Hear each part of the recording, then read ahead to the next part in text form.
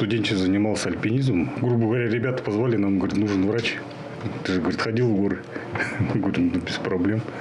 Ну и пришел сюда. Первые мои спас работы были это в 84 году в Охотском море. Вот мы спасали детей на теплоходе Получился пожар, детей ночью эвакуировали в шлюпки, и их разнесло, и мы вот их э, вели поисковые работы и спасали.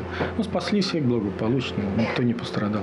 В восточных Саянах самые сложные спасательные работы так как там нет инфраструктуры. Часто бывает, что вертолет не может вылететь. 12 часов идешь просто пострадавшему. Больше всего, наверное, это запомнилось у нас э, в 2011 году. Были поисковые работы самарских отшельников, которые ушли своей сектой в тайгу через Бурятию в Туву. Четыре дня мы ехали на машине и два дня шли пешком до них. Спасли благополучно, все, доставили все живые здоровые. Но на, на грани они уже были, на грани голода и вот, Жили они в палатке 30-градусной мороза, в простой палатке. И среди, среди них и да, два инвалида было, не ходячих. Поступило сообщение, что на Мунку-Сардык один человек уже погиб, а другой в тяжелом состоянии. ПСО номер два вытащили, получается, живого человека. А мы вторым, вторым эшелоном пошли сразу за погибшим. И с этого моста на а, реке Белый Иркут пошли пешком. Был сильный ветер, шел снег. А, местами мы торопили там, по пояс, по колено, чтобы дойти. Восходили спортивный маршрут на Мунгус-Ардык когда мы уже вышли на гребень, внизу стояла группа людей из трех человек. А это оказалась группа, которая поднималась со стороны Монголии.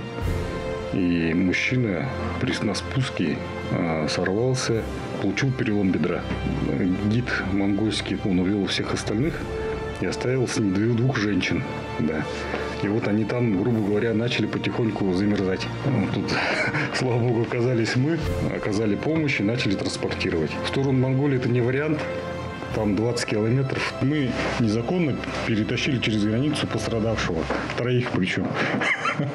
Можно сут, сутки длиться спасательной работы, больше 12 часов а, в таких тяжелых условиях. Ну, бывает страшно. Бывают такие опасные моменты, где можно и самому пострадать. Служба обучает, подготавливает, тренируемся, и каждый вносит в лепту спасение человека. А как-то вы следите за судьбой вот этих пострадавших? Ну, примерно, да, интересуемся, если они как бы выходят на связь, все нормально, то ладно. Если бы еще одна жизнь была, вы бы пошли к спасателей? Нет? Конечно бы пошел.